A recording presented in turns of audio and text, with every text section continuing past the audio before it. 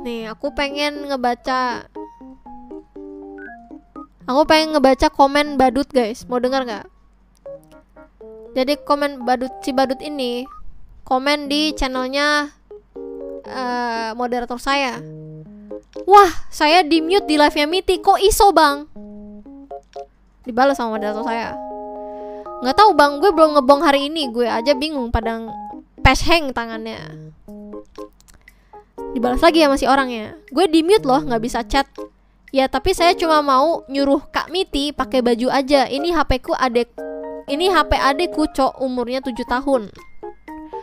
Waduh, kok bisa dibong kalau udah di hide gak usah bi gak udah nggak bisa lagi bang, kata moderator saya. Aku pengen ngasih tahu ke kalian, kalau misalnya kalian emang gak suka, leave aja, gak usah ngomong apa-apa, leave aja. Aku mau pakai baju tertutup, aku mau pakai baju terbuka, itu cara aku mengekspresikan diri. Itu cara aku biar confident untuk live stream. Kalau kalian nggak suka silahkan unsubscribe. Terus kamu bisa ke channel yang lain yang emang bajunya terbuka. Kenapa hidup kalian tuh dibawa ribet sih? Kayak aku pengen ini pengen itu tuh kenapa harus di kenapa harus dipermasalahkan gitu? Kenapa nggak kamu terima aku aja padanya? Gitu guys terus dia tuh kan protes nih ya Makasih bosku. HP adekku cok umurnya 7 tahun. Gini ya.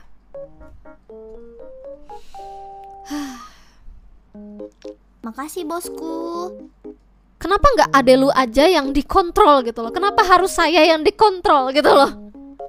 Kenapa harus aku yang disuruh-suruh gitu kan ya? Buat tertutup terserah terserah gue tau gak sih? Di channel gue tau gak sih? Terserah terserah. Mau mau gue telanjang kayak mau apa kayak terserah. Come on. Terserah. Gitu guys. Ya. Ya.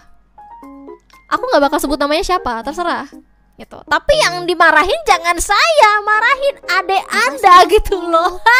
Nggak nggak. Saya tidak mau nih yang kayak gini-gini nih. Ya adeknya nih ya tujuh tahun gitu. Kasih aja YouTube Kids gitu loh ya. Kasih tuh YouTube Kids tuh. Tuh. Kasih.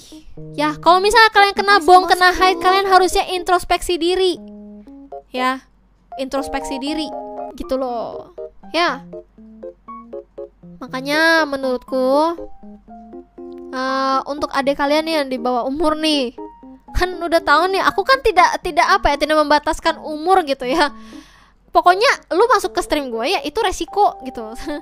Serah umur lu berapa gitu resiko gitu loh. Tapi ya tahu diri aja gitu. paham gak sih? Gimana sih gue ngomongnya anjir?